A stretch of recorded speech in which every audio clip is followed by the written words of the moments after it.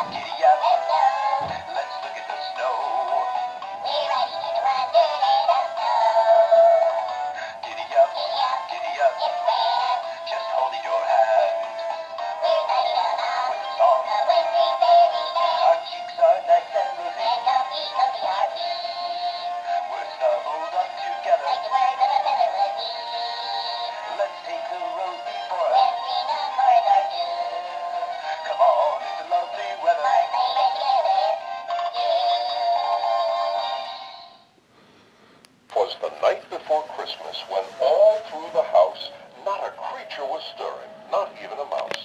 The stockings were hung by the chimney with care in hopes that St. Nicholas soon would be there. The children were nestled all snug in their beds while visions of sugar plums danced in their heads. And Mamma in her kerchief and I in my cap had just settled down for a long winter's nap.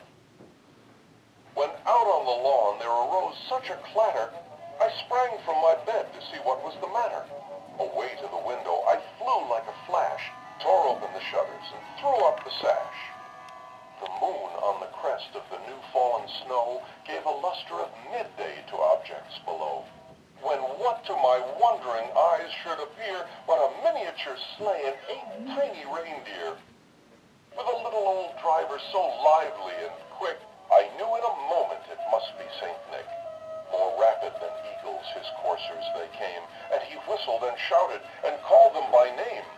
Now Dasher, now Dancer, now Prancer and Vixen, on Comet, on Cupid, on Donder and Blitzen.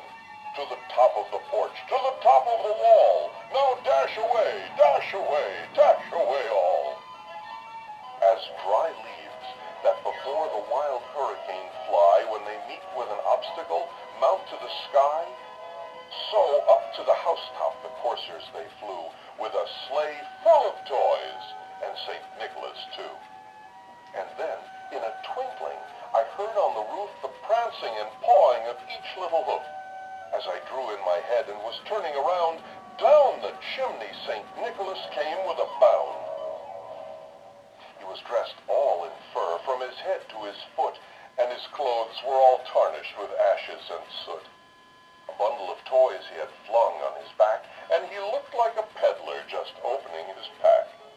His eyes, how they twinkled, his dimples, how merry, his cheeks were like roses, his nose like a cherry.